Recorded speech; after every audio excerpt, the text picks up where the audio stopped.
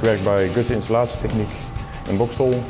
En ik volg de opleiding Technicus, Maintenance, Koude Klimaatsystemen. We staan hier in een technische ruimte waar wij onder andere het onderhoud uitvoeren bij luchtbehandelingskasten. Daar ik de filters erin gaan zetten, Ruud.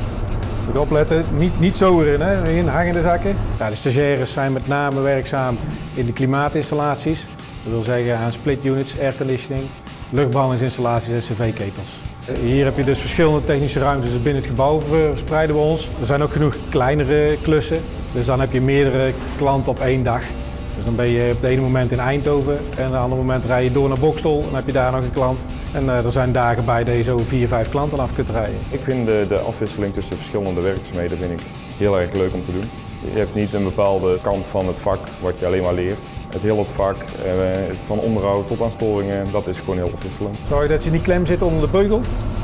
Even een keer checken, zo goed vast in zitten. Je hebt een aanspreekpunt als, als, als leerling-monteur of als stagiair van als ik het niet weet of ik kom er niet uit. Iemand heb je die telefonisch uh, kan helpen of ondersteunen. Dan ben ik in de gelegenheid dat het niet al te ver rijden is, dan spring ik gauw in mijn auto en dan ga ik gewoon ter plekke mee kijken. dit was mijn uh, werkdag.